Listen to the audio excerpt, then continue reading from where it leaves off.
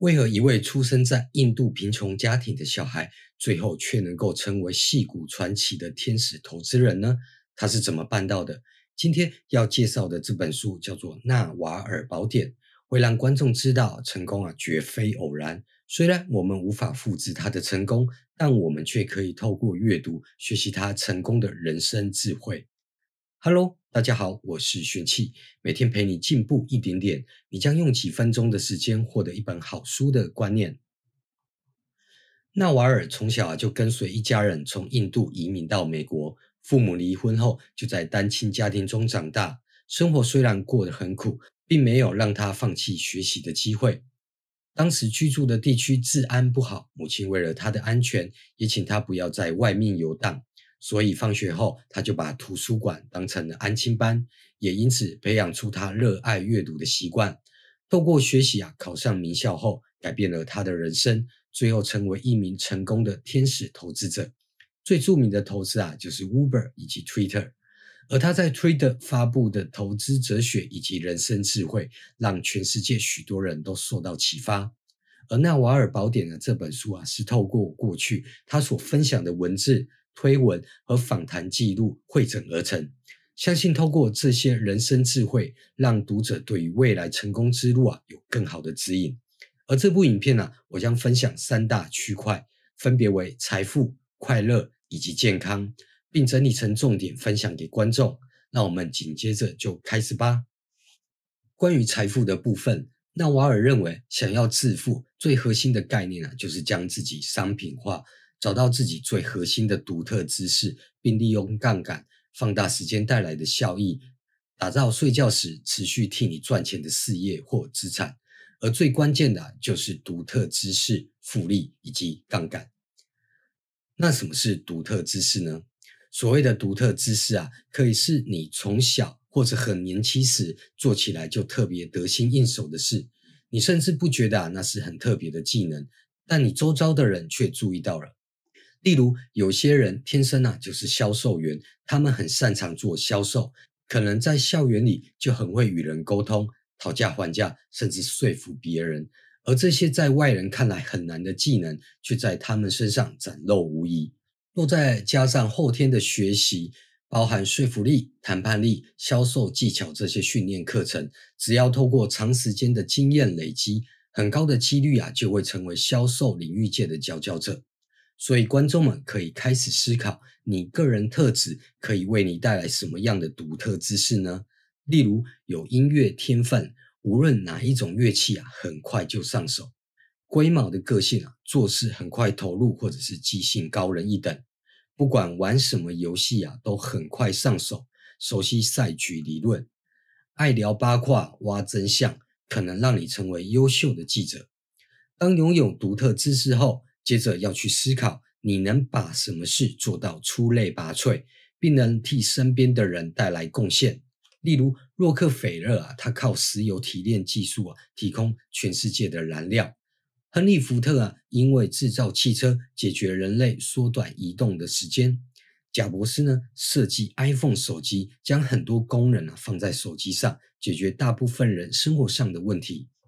以上这三个著名的人物啊，都有一个共通点，就是啊，每一样独特的知识啊，都为他们带来更多的财富。那什么是复利呢？纳瓦尔认为，复利的概念是生活中的所有回报，无论是财富、关系或者知识，都来自复利。所以，复利不单单只是可以用在财富累积上，比如商业关系、人脉关系，或者是知识的累积，也都存在着复利的效果。为什么有的人可以成为上市公司的执行长，并掌管数十亿美元的资产？是因为啊，他们取得大众的信任，他们长期稳定的经营事业，并以负责任的方式啊，证明自己是值得信任的人。经过长时间的经营，他们所建立的人脉关系和所做的努力啊，就产生了复利的效果。而在知识的累积上，你可能学习了很多的知识，也阅读了很多领域的书籍，可以发现啊，大概有百分之九十九都不会真正被应用到，仅有百分之一啊会被运用到。但这不代表啊，你不必太认真在学习上，相反的，应该认真去思考自己所做的事，并全心全力的投入，因为在复利的效应下，有一天啊，你会发现到那百分之一会为你带来庞大的财富。以我自己来说啊，几年前刚开始在阅读时啊，阅读效率啊相当的差，有时一本书一个月都读不完。经过长时间的学习啊，不但专注力比较强，也因为知识库比较多，阅读速度会比较快，甚至可以做出说书影片。确实在阅读这个部分有感受到很大的复利效果。而复利啊之所以那么的重要，是因为即便高时薪的医生与律师。他们也都是利用时间来换取薪资，要主动收入啊，才能赚取金钱。一旦退休，这份工作啊就没办法替你带来收入。而真正赚钱的人啊，都是拥有某项产品、事业或者是智慧财产权的一部分，没有一个啊是用时间换来的。所以你要把拥有公司股权啊当做努力的目标，可以透过两种方式掌握公司股权。第一种呢是买股票，成为公司的股东。第二个呢，就是自己创业。而在这个部分呢，纳瓦尔他本身是创业家，所以他很鼓励创业，并认为啊是增加财富最好的方法。不过啊，创业本来就会有较大的风险。而我个人认为啊，投资股票是参与复利啊最易入门的方法。而我之前呢也做过几集关于投资的影片，有兴趣的观众也可以再看一下哦。那什么是杠杆呢？书中啊，以房地产产业来举例，最劳累的就是装修工人，付出时间劳力最多，报酬啊相较来的少，没有杠杆可利用。承包商包下整栋房子的整修工作，只要付给装修工人的一笔薪资，剩下的就是进入他们的口袋，而他们需要的啊就是承担整修结果的风险。在上一层呢，就是土地开发商。买下土地呀，雇佣承包商，再将房子卖出去，只要付给承包商即可，便能赚到更多的钱。而他们需要承担更多的风险、更多的责任，且拥有更多的杠杆，也必须拥有更多的独特知识，包含募资、法规、房地产趋势等。而这个例子啊，让我们了解到，越上层的人啊，会使用更多的杠杆，并承担更大的风险，并获得更多的报酬。我想很多观众会想，要当一个土地开发商，对我们来说距离太遥远，不可能实现。那又要如何把杠杆运用在自己的身上呢？纳瓦尔说，网络的出现啊，造就出一个杠杆效应无限大的时代，不再只是白领与蓝领的区别，而是有无杠杆的区别。杠杆分成三大类，分别是人力杠杆、资本杠杆以及全新的杠杆。那什么是人力杠杆？就是替你工作的人，但需要有人跟随你。那什么是资本杠杆？就是金钱，一种很好的杠杆，但需要有人拿钱给你。那什么是全新的杠杆呢？就是零边际成本杠杆，也就是一种产品服务，例如书籍、媒体、电影、软体，只要一部电脑就行了，不需要像人力杠杆或者是资本杠杆一样，需要得到别人的允许。所以啊，你只要利用网络的杠杆做一件事，就可以替自己创造出更多的效益。就以我经营 YouTube 为例，我只要花一次时间将影片做好并放在频道上，除了自己获得知识外，在我休息的同时，其他人还可以继续看到影片并获得知识，而我呢，也能从中获得持续的收益。若影片数量越多，影响力越大时，就有机会啊获得更多的报酬。所以，观众可以思考：目前除了自己的主业外，自己的独特知识是否可以延伸出书籍、影片或者是软体，并经由网络发挥杠杆呢？以上呢讲述了特殊知识复利杠杆，并让自己商品化的概念后，是我觉得啊，在这本书中关于财富最重要的核心价值。除此之外，纳瓦尔呀提出其他的要点，是可以帮助自己拥有更多财富的观念。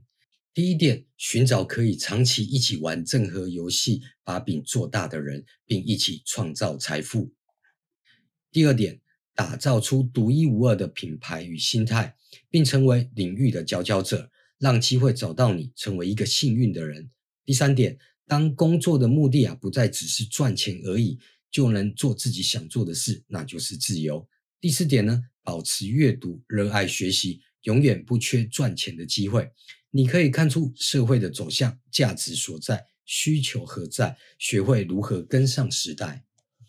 关于快乐的部分，纳瓦尔认为啊，快乐啊就是回到一种原厂预设的状态，不再觉得啊人生好像少了什么，快乐就会在那，不缺乏，心智就会放空，内心就会平静，不太想关于过去或未来，拥抱当下，接受现实。不需要改变外在环境啊，就会觉得满足并感到快乐。所以，减少欲望并活在当下，就是快乐重要的关键因素。在欲望方面啊，我们应该要慎选欲望，并避免掉入欲望的无底洞。大多数的人啊，通常在欲望被满足后，就会再去追寻下一个，永不停歇。就好比有些人啊，会越来越擅长玩报酬丰厚的游戏，因为生存而复制成功的动力啊，让他想继续留在这个欲望跑步机上。尽管过了玩那一种游戏的年纪啊，却还不肯停下来。但真正的赢家是能够知道何时退出游戏的人。书中提到，曾经拿过四次世界举重冠军。记录维持十七年之久的杰西·格雷戈雷克，不管他赚的比较多或者是比较少，都影响不了他的内心状态，所以他心里平静，身体啊也会越来越健康。那活在当下为什么那么的难呢？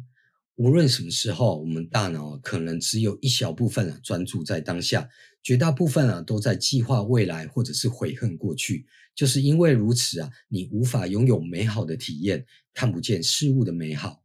观众可以回想一下，我们的大脑是不是总是计划着未来，亦或者拿过去与现在做比较，花了很多时间思考，有时还会伴随着焦虑，很少有时间啊会专注当下，甚至在吃饭时同时想着工作上的事，等吃完饭后啊根本忘了食物的味道。所以，试着让心灵平静啊，就很重要。因为快乐由平静而生，只要内外都平静，快乐啊终将会来。而我们呢，也要学着培养快乐的能力，也就是从建立良好的习惯做起。可以选择呢，不喝酒，让头脑清醒一点；不吃糖，让情绪更稳定；不要常上社群，让心情放松；不成瘾性打电动，避免毁掉快乐。而关于健康的部分呢，想要健康啊，最关键的就是在饮食、运动以及冥想上下功夫。在饮食上啊，现在的饮食啊，已经偏离人类原有的过多的糖以及脂肪啊，会造成身体的不适。糖与脂肪啊，可以说是致命的组合。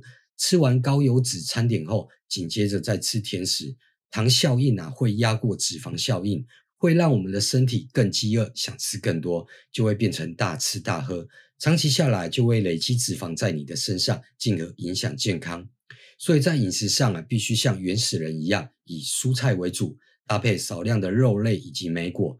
更简单的饮食法则啊，就是食物加工程度越高的，就应该越少吃。在运动上啊，很多人不会把健康摆在第一，所以对于运动就有很多的借口，就是没时间。纳瓦尔认为，很多人宁愿选择便宜形式的轻松决定，其结果就会伤害你的人生；却不选择啊三思而后行的困难决定，会提升自己的人生。而运动啊，就是愿意短期牺牲，就会得到长期获益的效果。所以啊，他养成每天运动三十分钟的习惯，而所有的事啊，都会等到这三十分钟健身时间结束后才来烦恼。且运动啊，使他变得更健康。更年轻，虽然辛苦啊，却能让身心灵健康，不容易生病。而除了运动外啊，他也会进行冲冷水澡，因为低温啊可以启动我们的免疫系统。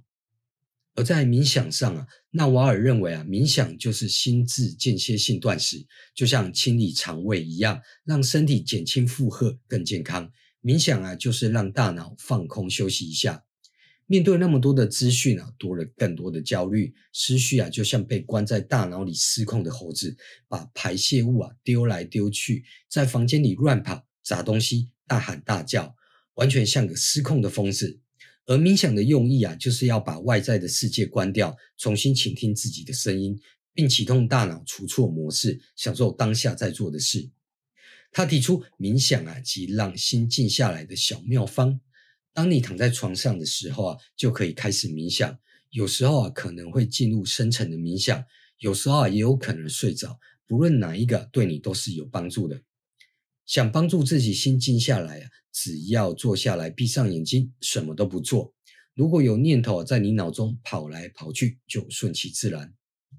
好了，以上就是《纳瓦尔宝典》这本书的介绍。我们来重点回顾一下关于财富啊，我们要将自己商品化，并利用独特知识、复利以及杠杆，发挥出最大的效益。关于快乐啊。减少欲望，并活在当下，让内心平静的接受，而不是执意改变现状。关于健康呢？借由健康的饮食，每日三十分钟的运动，加上冥想，让身体长期保持健康。以上啊，就是《纳瓦尔宝典》这本书的介绍。因为影片的时间有限，书中还有很多人生的滋味未被分享到。这部影片整理出来的内容啊，是我觉得可以带给观众得到不错且新颖的观点。若有兴趣的朋友啊，也欢迎买书来观看，一定会有莫大的帮助哦。如果啊你觉得这部影片内容不错，帮我按赞支持一下。假设你不想错过未来发布的新影片，也欢迎订阅，也可以将影片啊分享给你的朋友及家人，相信他们一定会有所收获。谢谢你们耐心的观看，我们下个影片见，拜拜。